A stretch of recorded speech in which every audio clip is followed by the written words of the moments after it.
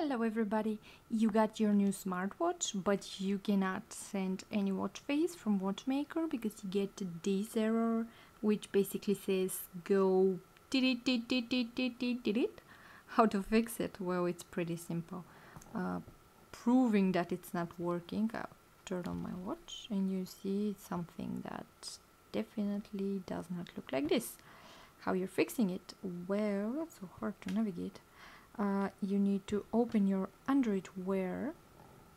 And when you go to watch faces and then click to more click to more and you scroll down and you see there is a watchmaker icon.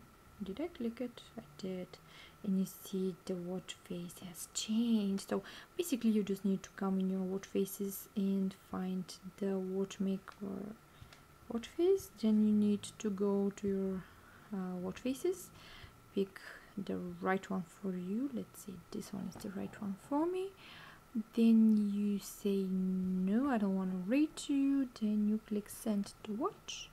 Then your watch vibrates load the watch face you want. You say you don't want to rate them and the watch face is there. So that's how you fix it. Simply go in your let me replay repeat if somebody didn't get the beginning. Go in your android wear app scroll to your in your watch faces to find the watchmaker. Zoom in zoom it how to zoom it? I cannot zoom it. That's nice camera. Uh, you go to your watchmaker then go to your watchmaker app. Then you simply click and send to your that's it. So much reading for so little thing.